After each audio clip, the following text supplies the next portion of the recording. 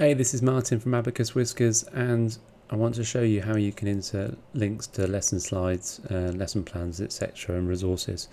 And because I think this is for me the most uh, the, the most beneficial reason to use the Google Docs suite for uh, a teacher planner um, or as, as, a planning document. Um, so as you can see on this example one, I've already um, uh, added them in. So this was my week view, I'd open, I could possibly open this in the morning and then I literally just need to click on uh, the links and it'll open up the, uh, the lesson slides ready um, and lesson plan, which is blank. But you, you, you could do that. Um, if I wanted to insert one, let's just say there's a, I'm running a lunchtime session, strangely. Um, I want to insert a link. So I'll go to uh, my Google Drive and I would choose what I want. So I want this lesson here. Right click and I'm going to say uh, get link.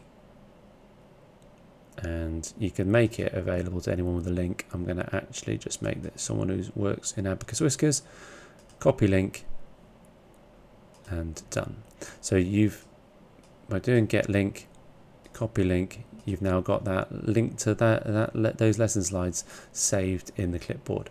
So let's go back to where we want it and I'm going to right click. So you could either just right click and paste or control V. That leaves a rather ugly um, looking link. You could do right click and insert link and then you can control V there and give it a title. So we could call it uh, lesson slides and then apply and it's there okay?